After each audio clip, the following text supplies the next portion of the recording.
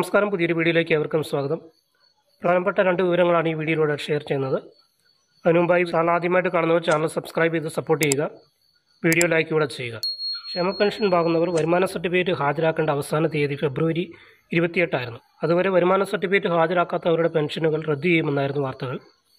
എന്നാൽ പുതിയ വിവരം അനുസരിച്ച് വരുമാന സർട്ടിഫിക്കറ്റ് തുടർന്നും ഹാജരാക്കാവുന്നതാണ്. വരുമാന സർട്ടിഫിക്കറ്റ് എന്നാണോ ഹാജരാക്കുന്നത്? ആ മാസം മുതലുള്ള പെൻഷനുകളായിരിക്കും നമുക്ക് തുടർന്ന് ലഭിക്കുക. പെൻഡിങ്ങായി കിടക്കുന്ന പെൻഷനുകൾ തുടർന്ന് ലഭിക്കുന്നതല്ല.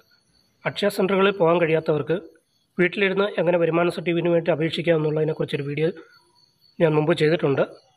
അതിന്റെ ലിങ്ക് ഡിസ്ക്രിപ്ഷൻ ബോക്സിൽ കൊടുക്കുന്നതാണ്. രണ്ടാമത്തെ വിവരം പാൻ കാർഡുമായി ബന്ധപ്പെട്ടതാണ്. മാർച്ച് മുപ്പത്തൊന്ന് വരെയാണ് പാൻ കാർഡും ആധാറുമായി ബന്ധിപ്പിക്കേണ്ട അവസാന തീയതി. ആധാറുമായി ബന്ധിപ്പിക്കാത്ത പാൻ കാർഡുകൾ മാർച്ച് മുപ്പത്തൊന്നിന് ശേഷം അസാധുവാക്കുമെന്നുള്ളതായിരുന്നു വാർത്തകൾ വന്നിരുന്നത്. എന്നാൽ ഇപ്പോഴത്തെ പുതിയ വിവരം അനുസരിച്ച് മാർച്ച് മുപ്പത്തൊന്നിന് ശേഷം പാൻ കാർഡുകൾ മരവിപ്പിക്കുന്നതാണ്. അതുകൊണ്ട് നമുക്ക് പുതുതായി മറ്റൊരു പാൻ കാർഡ് എടുക്കാൻ സാധിക്കുന്നതല്ല. രണ്ട് പാൻ കാർഡുകൾ കൈവശമുള്ളവർ പിടിക്കപ്പെട്ടാൽ പതിനായിരം രൂപ വരെ പിഴ ഈടാക്കുന്നതാണ് അതിനാൽ മാർച്ച് മുപ്പത്തൊന്നിനകം പാൻ കാർഡും ആധാറും തമ്മിൽ ബന്ധിപ്പിക്കാൻ ശ്രമിക്കുക. അതങ്ങനെയാണ് ചെയ്യുക എന്നുള്ളതിന്റെ ഒരു വീഡിയോ ഡിസ്ക്രിപ്ഷൻ ബോക്സിൽ കൊടുക്കുന്നതാണ്. പിഴ ഈടാക്കാതെ ആധാറും പാൻ കാർഡും തമ്മിൽ ബന്ധിപ്പിക്കേണ്ടെന്ന സമയപരിധി കഴിഞ്ഞു പോയിരിക്കുകയാണ് ഇപ്പോൾ ആധാറുമായി ലിങ്ക് ചെയ്യുന്നവർ ആയിരം രൂപ പിഴയടയ്ക്കേണ്ടതാണ്.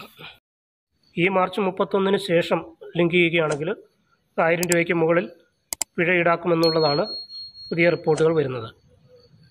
അപ്പോൾ ഈ അവസരം പരമാവധി പ്രയോജനപ്പെടുത്താൻ ശ്രമിക്കുക.